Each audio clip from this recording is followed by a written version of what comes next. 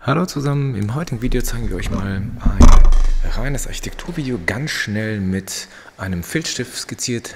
Das ist das Ergebnis und das ist einfach mal eine Ansicht, Architekturansicht ähm, aus einer schönen amerikanischen Stadt.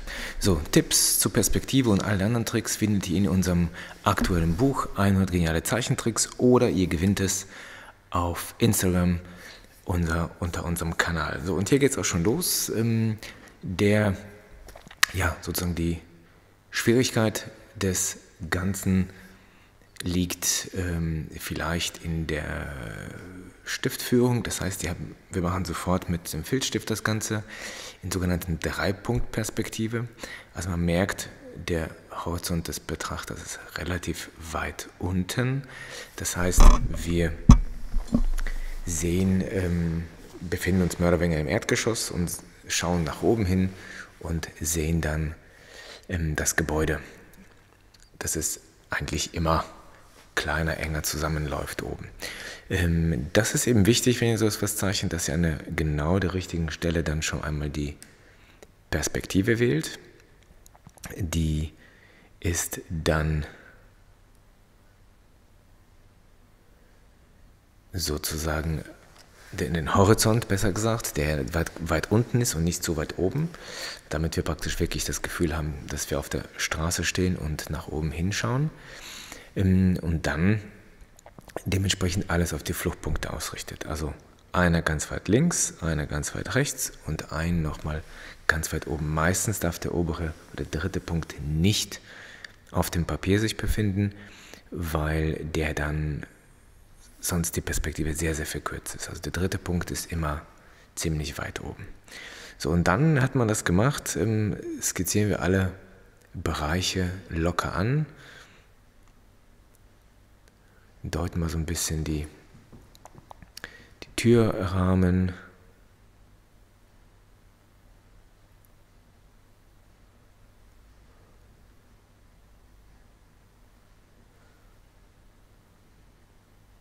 und Fenster, also all das, was eben so ähm, in einem Detail zu finden ist. Ähm, des Weiteren ist natürlich wichtig, die, die Tiefe des Fensters einzuzeigen. Das heißt, auf einer Seite ist es ein bisschen kräftiger als auf der anderen Seite, um, damit die Tiefe also eindeutig ähm, zu sehen ist.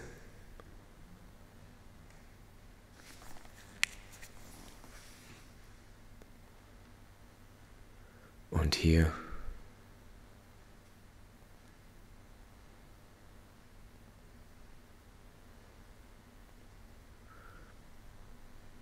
der Rest dementsprechend auch gut ausschaut.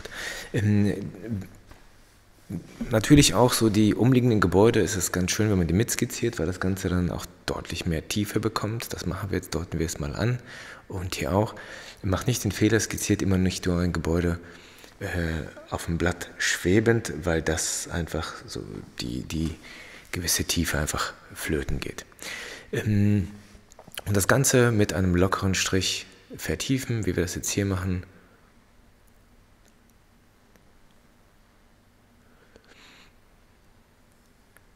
Dann bekommt das noch deutlich Spannung. Also wir deuten auch nicht jedes Fenster an, sondern machen das Ganze ein bisschen leichter. Ähm, also zu diesen ganzen Tipps und Tricks, wie man mit sowas umgeht, das lernt ihr natürlich bei uns im Kurs, wenn ihr das möchtet, ähm, vor Ort, sei es ein studienvorbereitender Kurs, der Mappenvorbereitungskurs oder ihr möchtet das Ganze bei uns hier ähm, als eine Art Fortbildung machen, weil ihr im Job seid, Architekten, Innenarchitekten, Projektplaner, dann natürlich bei uns vor Ort im Kurs.